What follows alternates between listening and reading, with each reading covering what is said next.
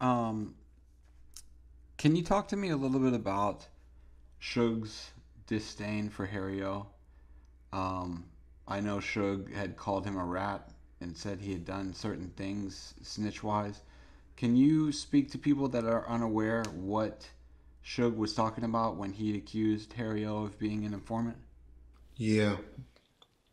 All right, y'all.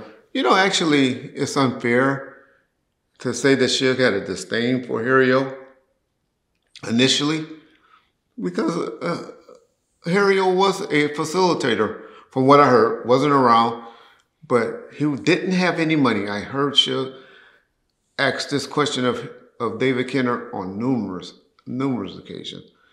David, I, I swear, he will always say, David, I thought you said none of that money was his. Because y'all know of the second time that Harry-O got the default judgment against Suge. There was a settlement the first time. This happened in 1995, 1996, where Harry-O and Interscope and, and, and Death Row settled. Harry-O got 300 some thousand dollars. 1996, mm, I believe. And that case was dismissed at that time because he had sued. And, and so up until that time, Suge, I guess, acquiesced and was giving him his money back. But Suge has always believed that the money came from another person who your boy Keefe D liked to brag about. Not Keefe D, bitch ass, no. But from a person that he was his boy, that he worked for. And um, and so that's who Suge, to this day, would tell you, did give some money uh, um, to fund, you know, to help, along with all the other monies that was really to help their lifestyle, to be honest. But yeah, whatever, whatever they did with the money. Uh, it came from that other person, not Harry-O.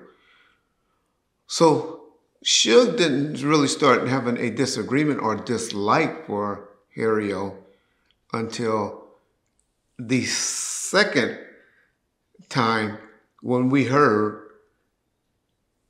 that he was down there meeting with the federal grand jury, calling people like Rick James, Jewell, and all those people that was on that Welcome to Death Row that was hanging around him then video. They were in 1998, 1999. We know for a fact. Harry-O was down there stationed at the, uh, the Metropolitan uh, Federal Building as a CI for the government. That's why he calls him a rat. Because 90, 98, 1999, there was a federal grand jury with an FBI agent, uh, an ATF agent named John, and an FBI agent named Dan McMullen that were uh, investigating death row record for racketeering and all of this. And they were the handler of Michael Harry-O. And so that's where he get all of that rat information from and start calling him a rat because we knew that. This is a fact. I mean, and so, um, that's why he had a problem with Harry-O. That's when the problem started. but even after that investigation was over, all they found and could prove was that Death Row failed to uh, file uh, federal taxes in a timely manner. And that's why Suge got a big judgment, Dr. Dre got a big judgment, and David Kenner got a big judgment against Gelfand, the accounting firm, Gelfand, for uh, failing to file their taxes, even though you're responsible, even though you hire people to do it. So that's why Gelfand gave us the judgment, gave them the judgment or the, the settlement, but they still had obligations. And that's when uh, Suge came home and I had it all worked out with the U.S. attorney and everything. Had no lawsuits, everything confirmed. We had his father, Marion Knight Sr., around October of that year. Uh, when she came home in 2001, we had him go down because I didn't want to do it, and we couldn't find nobody to do it. And Suge said, "I'll get my dad to do it."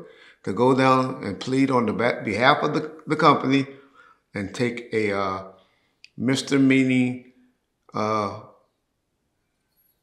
failing to uh, taxes uh, fine or or um, you know sentence, and he took it as the agent of death row, the father, and so uh, Marion Knight Senior, and so that's what happened. That's all that came out of what Harry O was trying to do and get done, and then later on, 2004, 2005, Reggie's gone. David Kenner gone. People that used to could get the paperwork done for Suge Knight was no longer with him. And O again, and Lydia, his wife. And they brought up a claim and sued Interscope as well. Interscope goes in and said, hey, and this is all Suge had to do. That's all he had to do. But I always tell y'all, marketing genius, business idiot, right? I always tell y'all that. Interscope goes to court and say, hey, we already settled this this suit. It's all is over. X, Y, and Z. And complaint dismissed. Right? And so this is what happened. Um, and then, so we do that. Suge Knight don't go to court. And so the case, Interscope get dismissed. Suge Knight don't don't send no attorney, don't go himself. All he had to do is, all the attorney had to do is stand up in court and say, what Interscope just said, Death Row said, and they would have got dismissed. But Suge, being stubborn and not too smart and having no advisors around, allowed the case to continue, kept thumping his finger at the uh, judge, and the court system wouldn't respond, wouldn't anything.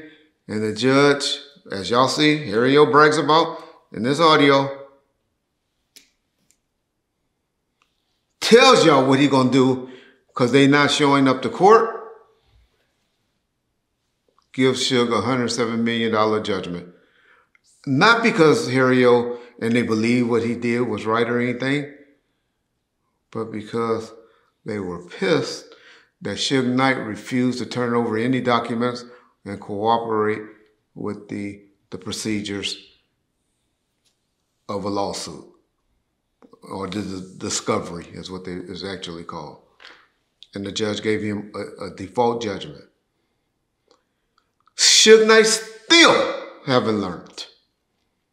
He goes and try to make a deal with Harry O's wife, who was, because Harry was in prison, and make a deal with her to get the judgment dismissed. Had the worst, I tell y'all, the two worst attorneys in America, Sherry Bingham and Lamont Gibbons. Suge found them. One's a probation or parole officer uh, that deals with, anyway, two idiots. They go. Lamont Gibbons starts flirting with Lydia. He gets up under Lydia, right? So he think, playing double agent, not knowing that Suge is kind of still controlling Lamont. Goes and do a settlement agreement with her for $1 million and think that was going to get it dismissed. So he gives her, got a settlement paper and everything. But he don't file the paperwork with the courts. Michael Harry O finds out about it. You know what he do? Smart man from prison. He files for divorce on Lydia and says, hey, Lydia don't have no rights to file my half because in California you 50-50 partners. Lydia don't have no right to follow my half. I still have own half of that judgment and the courts agreed, and Suge eventually had to file bankruptcy. That's what happened. That's why Row is lost, and why Harry beat Suge in court.